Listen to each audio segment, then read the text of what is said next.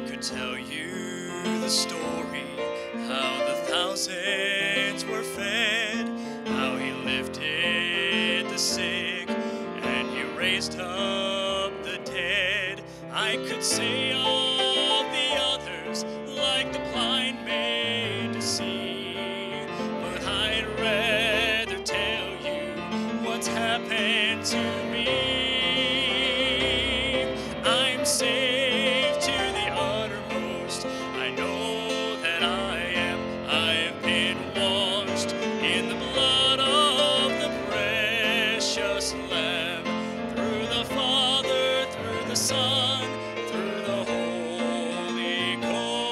I'm saved to the uttermost.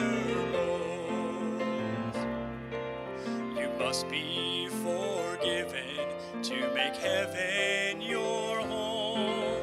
The good life you're living won't do it at all. So trust in the Savior, He'll save you today.